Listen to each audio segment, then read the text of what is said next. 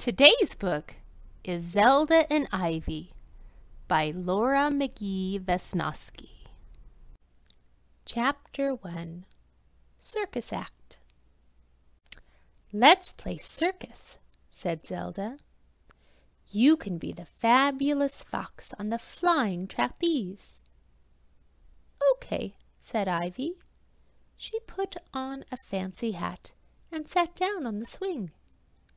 I'm the oldest, said Zelda. I will announce your tricks. Zelda stepped to one side. She held out her baton. Behold, she said, the fabulous ivy on the flying trapeze.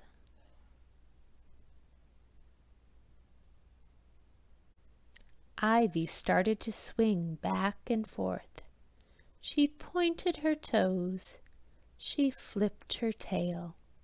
She smiled a big smile. And now, said Zelda, the fabulous ivy will stand on the flying trapeze. Ivy carefully stood up.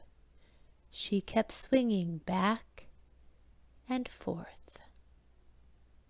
And now, said Zelda, the fabulous ivy will stand on one paw. Ivy stood on one paw. The swing wobbled. Holding on with only one paw, added Zelda.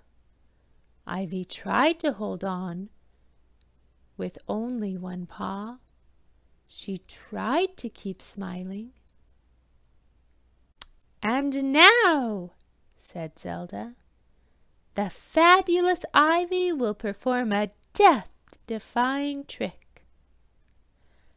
Balancing on the tip of her tail. Ivy fell off the swing. She started to cry. Don't worry, said Zelda as she helped her little sister dust off. I have trouble with that trick, too.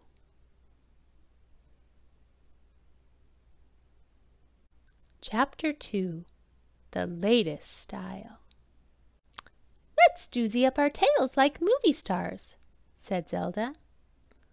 I like my tail the way it is, said Ivy. It will be even more beautiful with a blue stripe, said Zelda. She reached for the paint. Do you really think so? asked Ivy. She turned to see her tail in the mirror. Zelda painted a bright blue stripe down Ivy's tail. The stripe brings out your natural highlights, said Zelda. Oh my, said Ivy. I'm not so sure. Relax, said Zelda. Stripes are cool. Shall I paint a stripe on your tail? asked Ivy. Wait until I'm done, said Zelda. I'm going to make your tail even better with scallops. Scallops? said Ivy.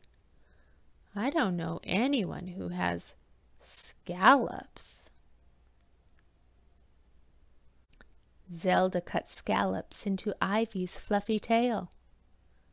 Oh dear, said Ivy, trying to smooth her tail fur.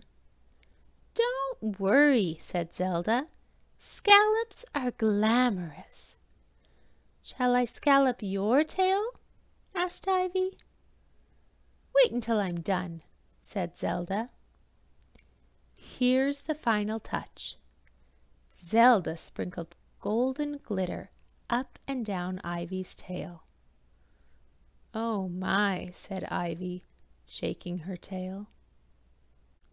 Zelda picked up her baton she stepped back and pointed at Ivy. Voila, she said, a masterpiece. Ivy looked down. I kind of liked it better plain, she said. Plain is okay, said Zelda, but this look is the latest style.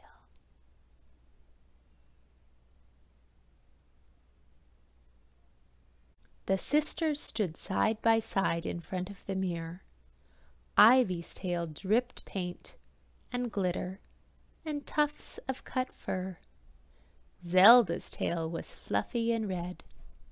Ivy picked up the scissors. Shall I doozy up your tail like a movie star now? she asked. Zelda quickly swooshed her tail away. Maybe some other time, she said. Let's take a bubble bath.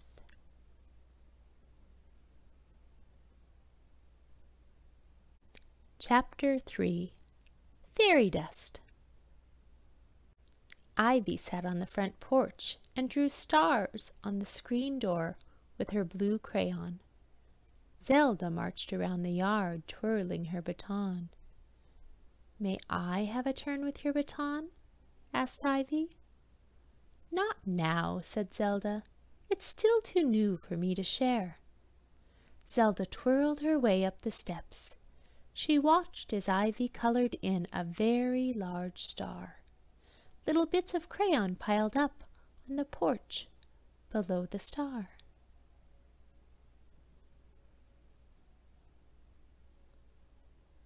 Look at this, said Zelda, picking up the crayon bits.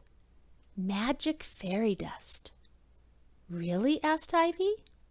Oh, yes, said Zelda, twitching her whiskers.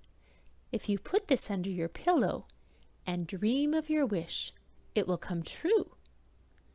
Zelda marched and twirled her way back down the steps. Ivy carefully gathered the magic fairy dust.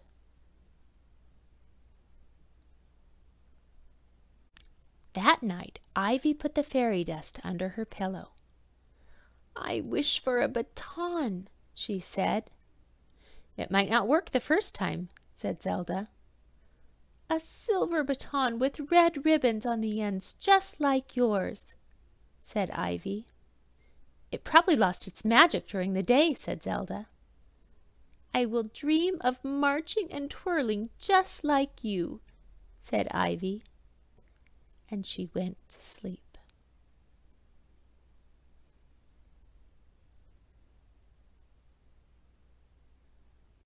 But Zelda could not sleep. She looked at her baton shining in the moonlight on the chair. She listened to the soft snores of her sister sleeping below her in the bunk bed.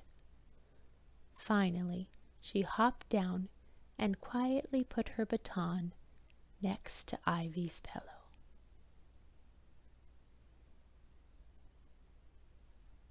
In the morning, when Zelda woke up, Ivy was already marching around, twirling the baton. Look, Zelda, she said. My wish came true. I have a baton exactly like yours. Yes, said Zelda a little sadly. Exactly like mine. I'm going to twirl and march all day, said Ivy. Get your baton and twirl with me. Oh, said Zelda, my baton. I'll get it for you, said Ivy. You left it on the chair last night.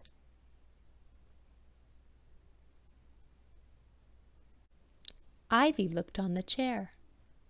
She looked under the chair.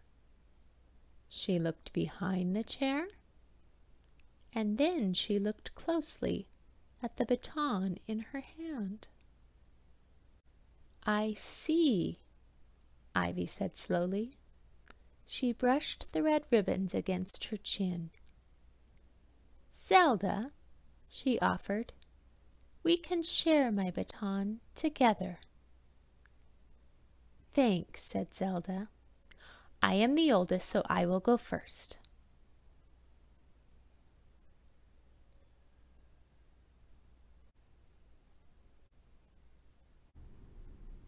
Aren't siblings wonderful? I sure hope you're having fun with your siblings. Take care, stay healthy. See you soon.